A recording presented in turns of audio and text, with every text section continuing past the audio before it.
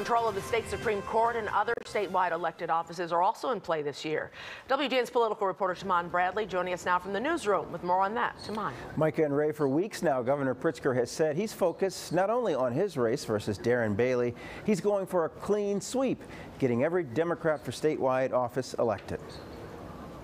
In addition to picking a governor and U.S. Senator, Illinois voters are being asked to choose executive branch officers.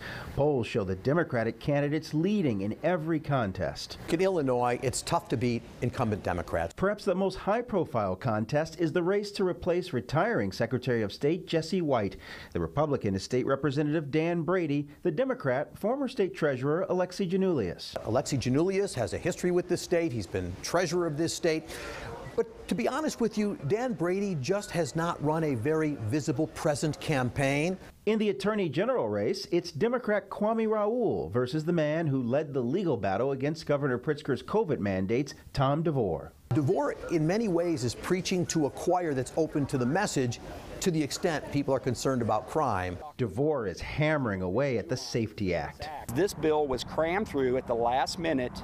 Raoul defends the process to pass the legislation and the elimination of cash bail beginning January 1st. I don't believe that cash should be the determining factor as to whether or not uh, somebody is held uh, pre-trial. In the race for treasurer, we've now made over $1.2 billion in interest income for the state of Illinois. Democrat Michael Frerichs is facing a challenge from GOP rising star State Representative Tom Demmer. We need a state treasurer who's who's independent. Demmer, like the rest of the Republican slate this year, has struggled to gain attention. On the Demmer campaign, he kind of seems to be out there on his own. We don't see a lot of ads from him. And finally, Susana Mendoza, seeking a second full term as comptroller, is facing GOP nominee Shannon Teresi.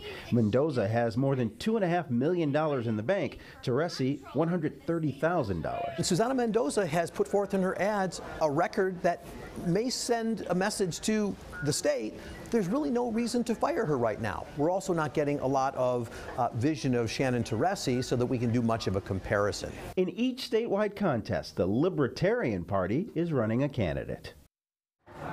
Our WGN TV Emerson College poll found Mendoza with the biggest lead in any of those races. The closest contest was for Attorney General between Raoul and DeVore, and late word this afternoon that Vice President Kamala Harris will be here for Democrats on Sunday, and we expect President Biden will be here in the coming days.